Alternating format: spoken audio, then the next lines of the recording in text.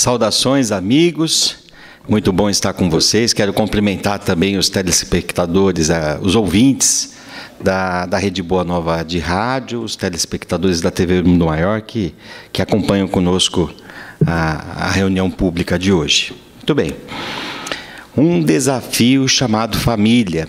Acho que esses dois capítulos que nós vamos abordar um pouquinho hoje traz um pouco da síntese desse, desse livro né, e mostra para a gente um pouco da importância da, da família e qual é o papel da família na transformação da nossa sociedade de uma maneira geral. Né? Então hoje nós vamos procurar falar um pouquinho a respeito disso.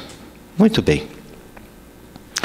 Quando o espírito, ele, quando o espírito, quando a criatura desencarna, quando o ser humano desencarna, e ele volta para o mundo espiritual. Quando a gente volta, parece que o mundo espiritual é outro planeta, né? Não, não é, é aqui mesmo.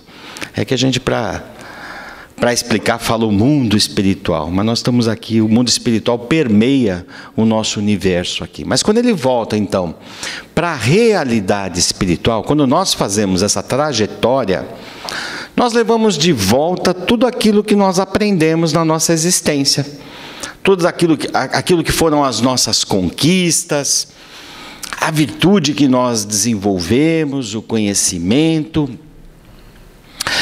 Levamos também as nossas paixões, aquilo que ainda nós não conseguimos resolver muito bem, nós levamos tudo isso.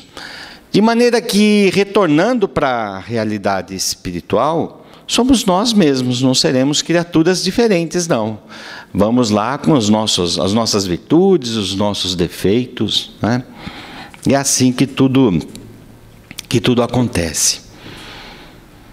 As pessoas, quando falam com relação à família, quando nós comentamos e falamos a respeito da família, todo mundo tem como referencial a formação da família acreditam que tudo isso comece através do casamento, através do nascimento dos filhos. Mas é, a doutrina espírita nos mostra que tudo isso começa muito tempo antes. A família ela já começou num período anterior a tudo isto. Então ela não não começou exatamente nesse momento quando acontece o casamento. E com o Espiritismo, então, abre-se para a gente todos esses novos horizontes a respeito de como que funciona esse compromisso. Tudo isso que para a gente parece que acontece por acaso, não é bem assim por acaso, não. Tudo tem uma razão de ser.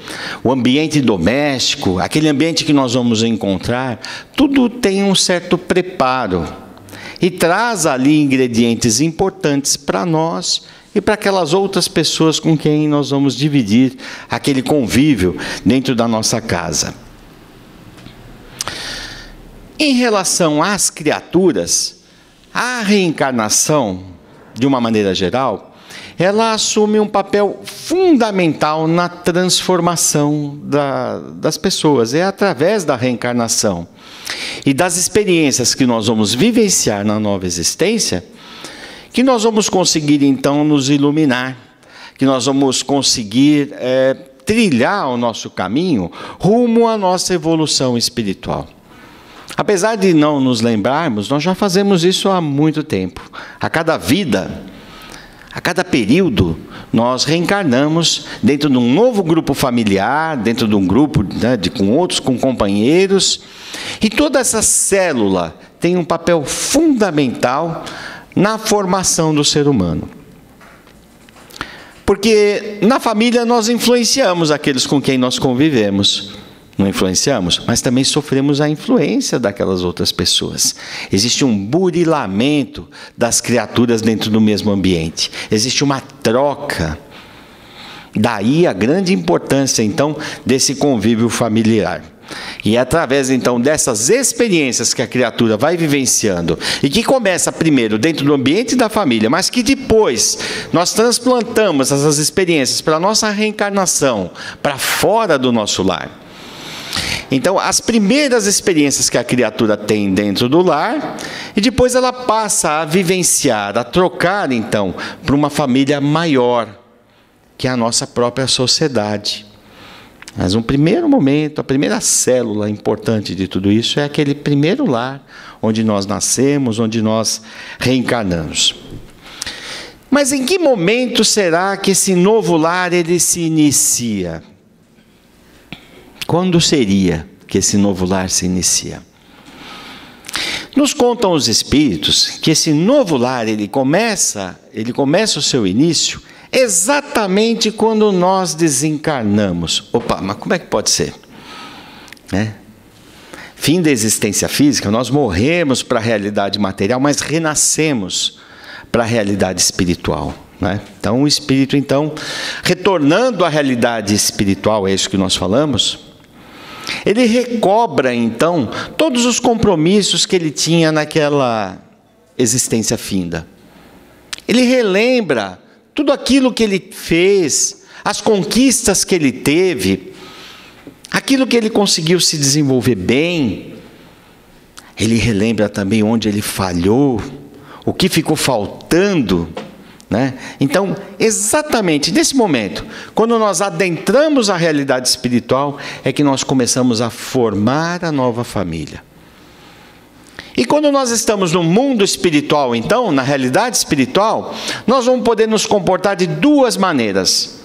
Nós podemos nos comportar buscando novos conhecimentos e aprendizados. Para aqueles que leram o nosso lar ou assistiram um filme, viram ali então a, a, a história de André Luiz na realidade espiritual, né? E um espírito, então, que de volta àquela realidade, e agora de posse do conhecimento de que daquilo que ele fez, de como havia vivido, de como havia sido a sua experimentação aqui na Terra, passou a ter uma postura diferenciada. Passou a ser um trabalhador do além, no mundo espiritual, passou a estudar, a se preocupar com a sua autotransformação. Então, os espíritos, eles podem trabalhar para o seu aperfeiçoamento, para o seu aprendizado, nessa realidade espiritual. Um, um, número grande de criaturas faz esse caminho, como foi o caso do André Luiz. Né? Outros permanecem dentro dessa realidade de forma estacionária. Então, não se interessam pelo trabalho, né? então ele, nem pelo seu desenvolvimento. Então que fique claro, o desenvolvimento ele não precisa acontecer só aqui quando nós estamos reencarnados. Ele pode também e acontece na realidade espiritual, porque o espírito ali ele continua estudando, aprendendo, fazendo, mas isso depende do quê? Da vontade, do livre arbítrio dele, dele querer efetivamente estar fazendo isso, né? Mas enfim, quando de posse, então, agora do conhecimento, de como foi a minha existência, daquilo que eu fiz, é, daquilo que fizemos, daquilo que, do caminho que trilhamos, o espírito, então, nesse momento, ele começa a repensar: olha, quais foram os afetos que eu tive na minha existência, quais foram os desafetos que eu tive. Então, ele começa a reavaliar todas essas questões. E após um longo período então de adaptação dentro da realidade espiritual, ele começa então a se preparar para dar sequência ao seu projeto reencarnatório, ao seu, seu projeto de evolução. Repensando então agora uma nova existência, para que ele possa dar sequência então no seu caminho. É... O fato é que no estágio que nós nos encontramos, estamos no mundo de provas expiações, todos nós precisamos ainda de muitas existências né, na matéria, é, para que nós consigamos efetivamente encontrar e, e, fazer a nossa ascensão na nossa escada evolutiva. Todos nós precisamos, porque a cada encarnação nós vamos estar então obtendo os aprendizados que precisamos é, dentro dos valores de convivência, mas aprendizados que envolvem, então, todas essas necessidades que nós carregamos como espírito. Faz parte, então, da, do nosso processo de evolução a reencarnação. Todos nós temos que passar, não há como fugir disso. Só assim nós vamos conseguir galgar esses degraus rumo à, à evolução que todos nós temos que, temos que chegar, temos que fazer nesse nosso grande objetivo da ascensão espiritual. Então, quando o espírito muitas vezes ele se encontra com remorso, arrependido por aquilo que ele fez, muitas vezes pensando na na próxima vida, radiante pelos benefícios que ele possa colher numa nova existência, às vezes triste pelas derrotas que ele teve na vida anterior, quando ele faliu, muitas vezes feliz ao contrário pelas vitórias quando conquistou. Então, dentro dessa situação começa a surgir na consciência do espírito a vontade de voltar novamente, de reiniciar, de renascer, para que ele possa de alguma maneira aparar, possa resolver alguma coisa, possa melhorar aquele quadro onde ele se encontra ou retocar ali o, o, o a condição. Porque existem determinados aprendizados que não é possível que ele faça na realidade espiritual. Ele precisa ainda, determinados aprendizados ele tem que fazer aqui na, na reencarnação. Não são todos que é possível fazer lá. Então, lá ele pode aprender muitas coisas e aqui ele vai pôr em prática. Né? Mas agora, junto com outros fatores conflitantes que nós encontramos na nossa existência. Ele começa então vislumbrando o reencontro com aquelas pessoas com quem ele amou, com quem ele teve algum afeto. Mas ele vislumbra também a oportunidade de resolver os problemas dos desafetos que tanto prejudicam ele ainda, que faz ele se sentir mal. Nós nos sentimos mal quando nós não fazemos alguma coisa bem e temos aquela vontade de recomeçar, né? E por pior que tenham sido os atos da vida daquele indivíduo na sua existência, Deus sempre dá uma nova oportunidade para aquela pessoa que efetivamente está arrependida e quer reiniciar, quer fazer novamente o seu o seu processo. E é assim então que a criatura recebe uma nova oportunidade, uma folha em branco, novamente para começar a reescrever novamente a sua história de maneira diferente. Às vezes, até fugindo de um passado doloroso, porque compelido para uma nova existência por causa de algum remorso do passado, né? E ele vai encontrar, quer seja através do amor, quer seja através da dor, todos os recursos terapêuticos que ele precisa para a transformação interior que ele tanto necessita. Ele vai encontrar nessa existência, nessa próxima existência que agora ele está começando a formar e está começando a desejar.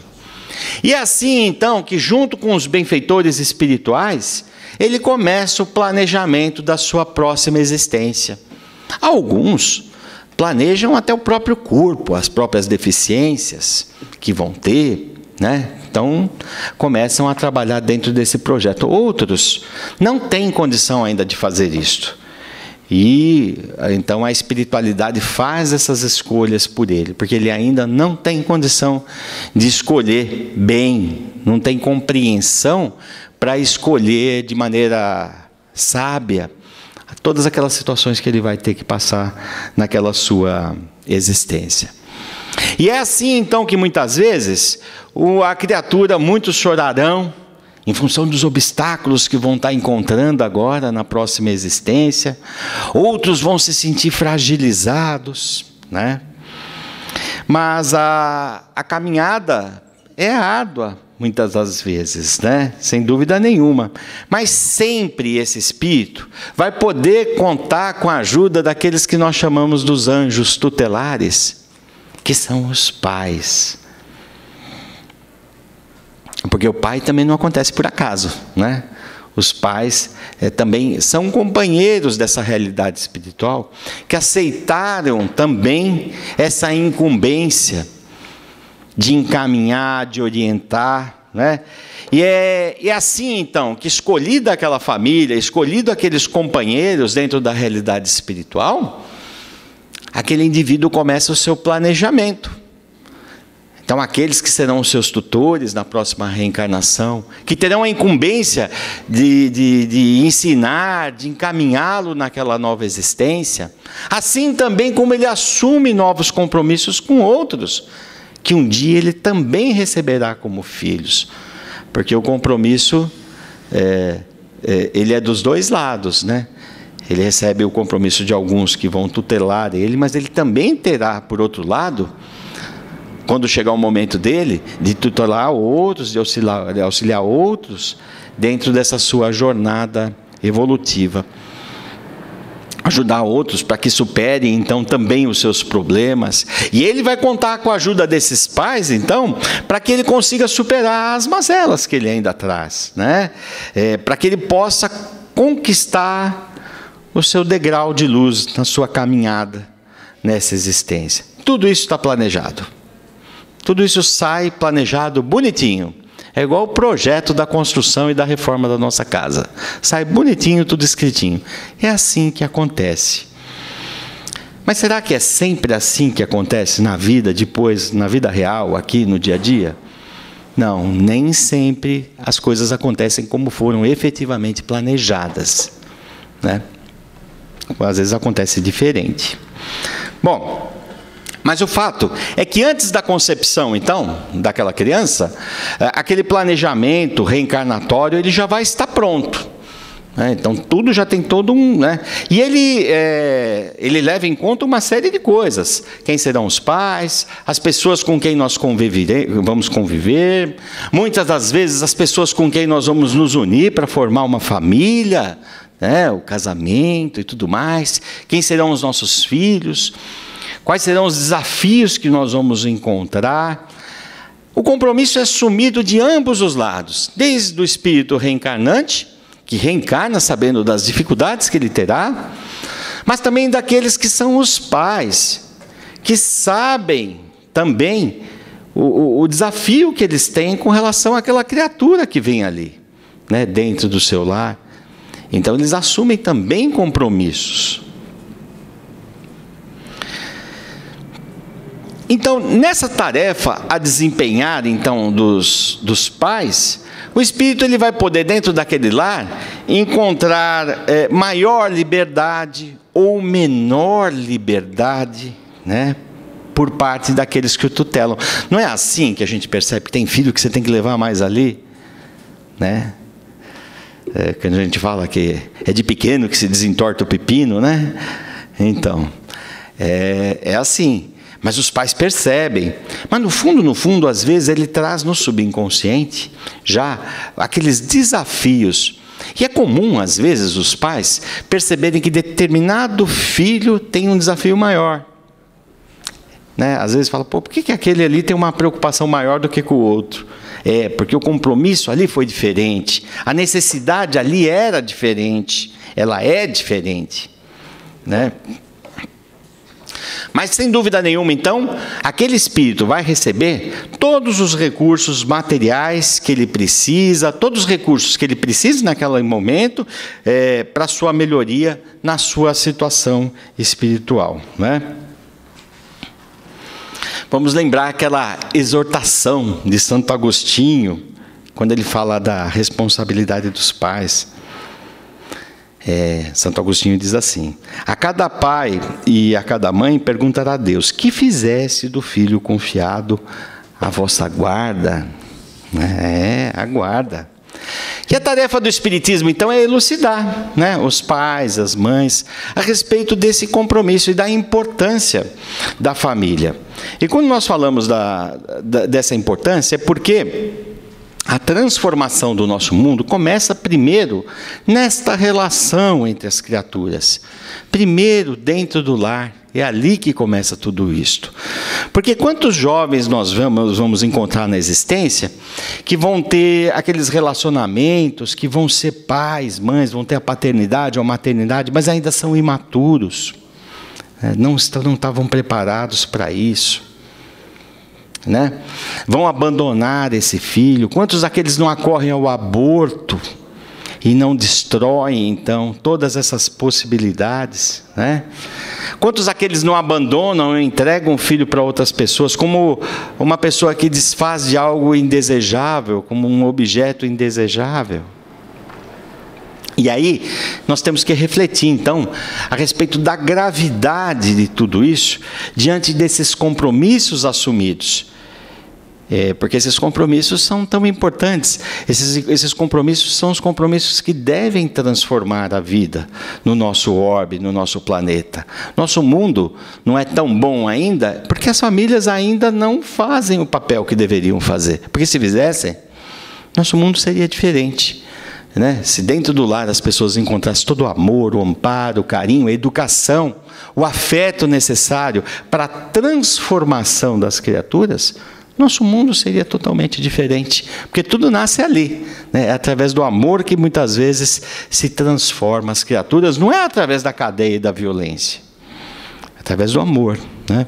Porque depois de instalada as tendências negativas no indivíduo, depois do mal feito, é muito difícil recuperar, voltar atrás. Mas quando ali pequeno, no lar, no amparo, no, no, na atenção familiar, isso é totalmente diferente. A coisa flui de maneira diferente, né? Então, a missão da família é realmente de transformar a nossa humanidade, né? E é por isso que os pais devem abrir os olhos sobre as realizações dos seus filhos né? e observar muito bem. O que está acontecendo com o meu filho, quais são as tendências que ele está desenvolvendo então dentro de si, para que eles tirem o pé da ilusão das coisas. E os pais têm que fazer o papel de realmente ensinar, né? É, afastar os filhos do vício, ensinar esse filho a se aprimorar, a buscar o caminho dentro do, do bem, dentro da fraternidade, do amor, da honestidade. Esse é o papel da educação dentro do lar, a fim de que o indivíduo possa obter a satisfação é, na sua vida através de valores, valores equilibrados, ajustados. E os pais, quando fazendo isso, vão se sentir muito bem, vão estar cumprindo com a sua missão, a missão que assumiram na espiritualidade. Porque o inverso também é verdade. Aquele que não pratica, não faz isso de forma certa, lá na frente ele vai se sentir muitas vezes como uma pessoa derrotada, porque não fez aquilo que deveria ter feito. Porque isso vai ser cobrado, então, como nos falou aqui Santo Agostinho. Não é? Então, nós temos que sempre observar é, aqueles lares onde a educação é feita com bastante devotamento, é, aquelas pessoas que fazem com bastante devotamento o processo da educação, porque estão cumprindo realmente com a missão divina que assumiram dentro da realidade espiritual, né? de transformar a humanidade a partir da sua célula familiar. Né? E vão estar sempre contando com a luz que vem do alto, com a ajuda que vem da espiritualidade. Né?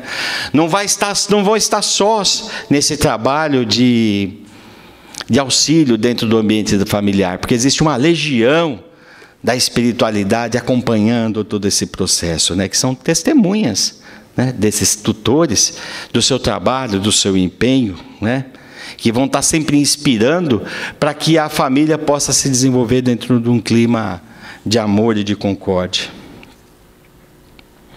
Vamos lembrar aquela pequena trova de Casimiro Cunha, um pai que deixa os filhinhos abandonados ao léu não corresponde no mundo à confiança do céu. É interessante. Em nenhum momento, isso não é política, hein? em nenhum momento da história da nossa civilização, relembrando lá o nosso ex-presidente, que ele sempre falava assim, né? Nunca houve tanta possibilidade das pessoas estarem juntas e mais próximas do que nos nossos tempos atuais, não é verdade? Comunicação. Como é fácil se comunicar hoje? Hoje a gente tem o carro, tem a condução, apesar de todo mundo sempre reclamar de tudo, né? Mas hoje é bem diferente do que era 100 anos atrás, né? Que a turma tinha que ir de carroça, né? Demorava três dias para chegar em Ribeirão Preto, né? Ou mais. Mas, e hoje não, hoje rapidinho as pessoas conseguem se comunicar através do telefone, né, através do celular. É, as pessoas podem estar mais próximas umas das outras, pais e filhos. Né? Isso, apesar de estar tão fácil a convivência das pessoas, nunca houve tanta reclamação por parte das criaturas pelo abandono dentro do ambiente familiar como há nos nossos tempos modernos. Né? Porque as pessoas absorvidas pelos seus problemas imediatistas, muitas vezes, deixam de se dedicar àquelas pessoas que amam. Quantas vezes o indivíduo se preocupa tanto em trabalhar, trabalhar, trabalhar, né? Como se estivesse numa corrida dos 100 metros, mas correndo contra o mundo. E acha que está fazendo tudo certo e deixa de lado aqueles compromissos importantes que ele tinha na sua existência. Esquece-se dos compromissos assumidos, que são mais importantes. E é por isso que consultórios de psiquiatras, psicólogos, terapeutas vivem lotados de pessoas. Não é por acaso. São os conflitos íntimos que as pessoas trazem. De um lado, os pais que, é, que não estão fazendo direito à sua tarefa e também não se sentem bem. Por outro lado, os filhos que muitas vezes tendo tudo se sentem filhos abandonados ainda, porque não tem aquilo que necessitaria, nos necessitava. Se perguntássemos, muitos pais justificam às vezes o abandono dos filhos, dizendo: ah, mas eu, eu, eu trabalho, faço tudo isto, é para dar um futuro melhor para o meu filho. Mas vamos perguntar para o nosso filho se ele não preferiria mesmo ter um pouco menos do recurso material, mas mais amor, mais ternura. O que será que eles prefeririam? E a gente vê que a grande grita, muitas vezes, do filho é em função do próprio abandono. E é por causa disso, então, que muitas vezes o filho pode, muitas vezes, desenvolver uma série de problemas, bloqueios psicológicos, tendência ao vício e tantas coisas que poderiam ser consertadas dentro desse convívio familiar, né? Não podemos criticar o trabalho. O trabalho ele é importante. Ele é fundamental, né? Mas nós podemos trocar o trabalho, nós podemos mudar o horário, nós podemos fazer tanta coisa na vida, né? Mas não dá para mudar a família. A família é um, é um compromisso intransferível, inadiável. Diante dos nossos compromissos sociais, religiosos, não interessa, a família vem em primeiro lugar em todas as situações e até diante muitas vezes do compromisso profissional. Então o indivíduo tem que dividir o seu tempo, como fosse uma régua de 24 é, de 24 centímetros e dividir ali os espacinhos. Esse tempo é da minha família. Ele é fundamental, não é? Porque o materialismo ele começa a destruir os sonhos, começa a destruir então essa realidade das famílias, né? E o que importa na nossa existência, é, para nós, é aprimorar aquilo que nós trazemos de mais rico, que é a capacidade de sentir e a capacidade de amar. É isto que importa na nossa existência. E é na família que nós encontramos uma grande oportunidade de desenvolver esses valores. Né? Se não fizermos, né? Nós não vamos conseguir, é, não vamos conseguir nos, nos sentir bem. Nosso tempo está quase acabando, acho que eu tenho dois minutinhos. Mas muito bem. Nós temos que nos preocupar, então, com o amor, com a fraternidade, com aquilo que nós podemos desenvolver dentro da consciência dos nossos espíritos. Não adianta o indivíduo viver na abastança. Né? O autor aqui do tema nos fala o seguinte: quantas são as criaturas, muitas vezes, vestindo a seda, mas infelizes né, na sua vida? E ao contrário, quantos lares ajustados e equilibrados, onde mesmo assim falta o alimento farto? Mas ainda naquele lar existe o amor, a fraternidade, a afeição. O que é mais importante? A afeição, né? Seja na mansão ou no casebre, o importante é nós desenvolvermos os valores de convivência. Dar aos nossos filhos a fé, a confiança, a amizade, a fortaleza, a inspiração, para que eles possam extrair o melhor da vida e construir então um futuro digno e honesto nas suas existências dentro do caminho do bem, né? Então, é assim que nós temos que fazer é, nas, nossas, nas nossas famílias. Daí, o alerta que a doutrina espírita deixa para todos nós a respeito desse assunto. O assunto é extenso, tem bastante coisa a mais aqui. Nós vamos ficando aqui, né? Muito obrigada. Então, depois que recebemos, né, podemos agora, chegou o momento das perguntas, se alguém tiver alguma dúvida ou quiser fazer alguma colocação, só levantar a mão, nossa companheira, e lá levar o microfone até vocês.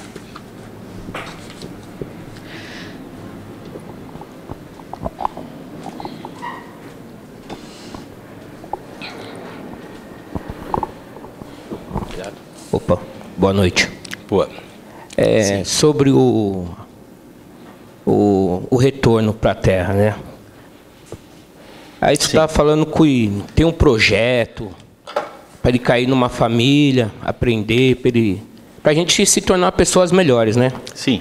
E essa semana eu estava passando, daí eu vi um nada contra moradores de rua, morador de rua, e uma criança nasceu ali. Eu gostaria de saber o que aprendizagem que ele vai ter para ele poder levar mais tarde se ele vai conviver num, com, com droga, crime, bebida. O, o pai estava doido. Eu queria saber o que, que ele vai aprender com tudo isso daí para ele retornar numa família assim.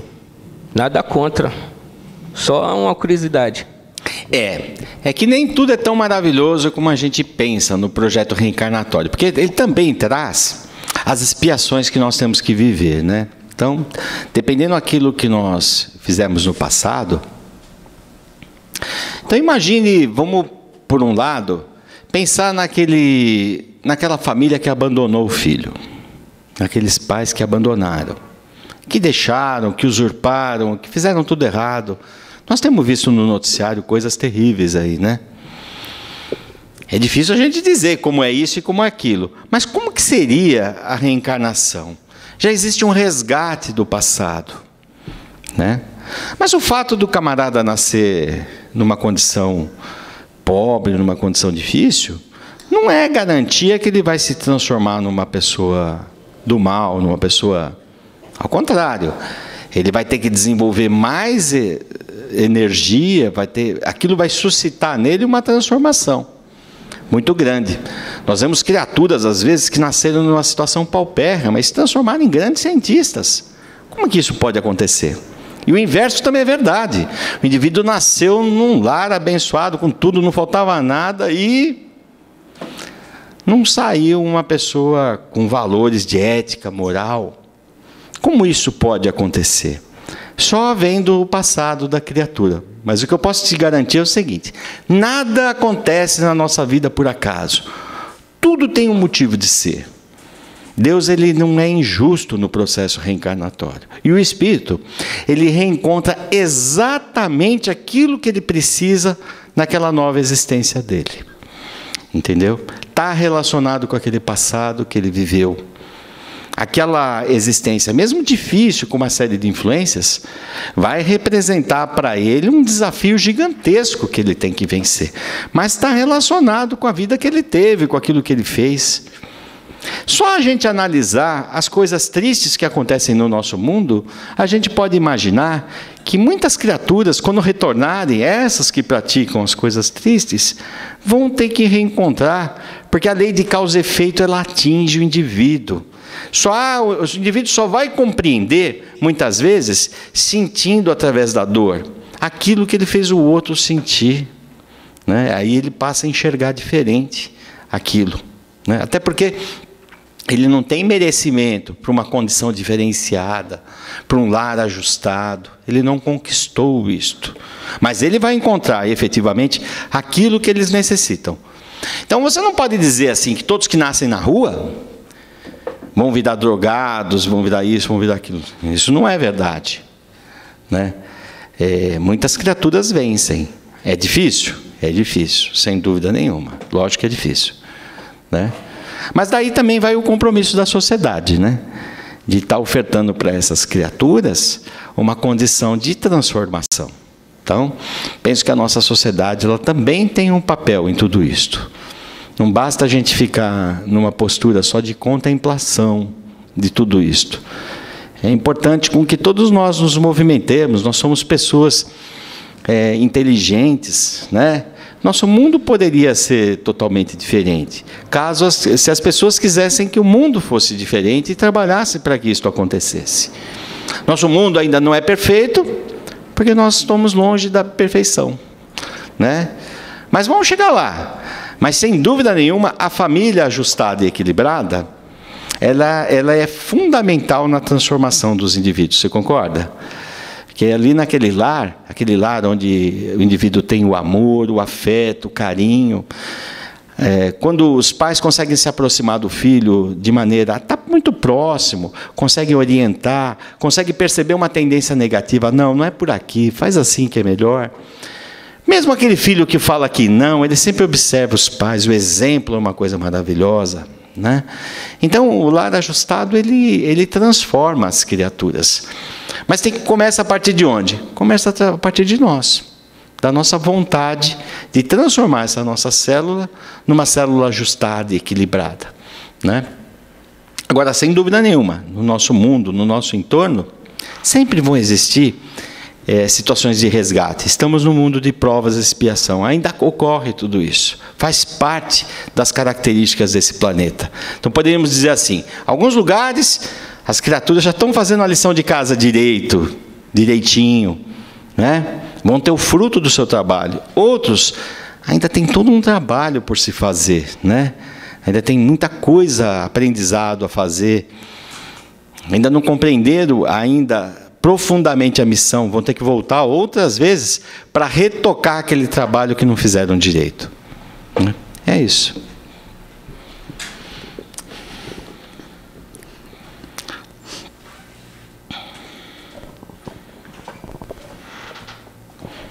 Boa noite, Armando. Boa noite. É, bom, baseado no que você comentou é, sobre nós termos uma nova chance, como se fosse uma folha em branco, né? Eu acredito que, com a minha ignorância toda, acredito que na própria vida que nós vivemos, no dia a dia, apesar de tudo ter sido escolhido lá atrás, programado, é, eu gostaria que você comentasse se eu estou errado no que estou pensando. Mesmo na vida que foi programada, no que a gente vive, a gente ainda é capaz de viver uma reencarnação dentro de uma encarnação e sempre ter uma nova oportunidade dentro da vida que a gente está vivendo pelas provas e expiações? Sim, sem dúvida nenhuma. O indivíduo, ele pode sempre estar construindo na vida. É, não é só o lar perfeito que oferece oportunidade de transformação das criaturas. Por exemplo, então, se fosse assim, ah, o camarada que separou, não, não isso não quer dizer. Né? Existem famílias diferentes hoje em dia, não tem? Tem. O importante é as pessoas saberem a sua obrigação. Né? Qual é a minha obrigação, qual é a minha responsabilidade. E nunca se esquecer disso. Eu assumi uma responsabilidade. Como que eu devo agir diante dessa responsabilidade? A coisa é séria, porque tem pessoas que às vezes trabalham mais, mas que têm medo, fogem do compromisso, do compromisso da família. Então, distancia. Então, às vezes, ao invés de ir lá conversar com o filho, tentar entender, tentar ajudar ele a resolver um problema, prefere dar uma mesada mais alta para ele ficar, entendeu? Então hoje nós estamos falando da família. É, a forma, a maneira de nós fazermos as coisas, isso é fundamental. Mas nós podemos estar construindo a cada dia da nossa existência, nós podemos fazer de forma diferente. Deus nos dá a cada dia uma folha em branco. Lógico, para aquele espírito que tem impressões na sua mente daquilo que ele fez, né? É muito difícil. Ele traz um complexo de culpa, só uma nova vida às vezes. Aquilo, uf, consegui esquecer aquilo e estou começando do zero. É legal, né? É bom poder começar do zero, né? Poder esquecer aquilo que aconteceu e recomeçar uma história. Mas é, a partir do momento que a gente, é, nessa vida também, reconhece onde que nós falhamos e, e, queremos acertar, sem dúvida nenhuma que a espiritualidade vai estar do nosso lado, nos ajudando. Todos nós temos um anjo guardião. Quem é? Não é um anjo de asas, assim como a gente imagina. É um amigo espiritual que tem a missão de nos ajudar. Escuta, vai por aqui. Né? E ele sempre está tentando nos mostrar os melhores caminhos. É que às vezes a gente, cabeça dura, vai pelo outro lado. Né? Ele quer fazer o atalho que não era para fazer. Né? Então, aí que a gente complica muitas vezes a nossa história. Mas a partir do momento que nós queremos fazer o certo, a espiritualidade está do nosso lado, sempre nos auxiliando. Só basta nós queremos fazer a nossa parte e tudo começa a se resolver na nossa existência. Ok? Muito obrigado, amigos. Acho que o nosso tempo já foi, né? Com certeza. Muito obrigado. Leiam esse livro, um desafio chamado Família. Ele é fininho, mas ele é bastante profundo, viu? Vale a pena. Boa noite.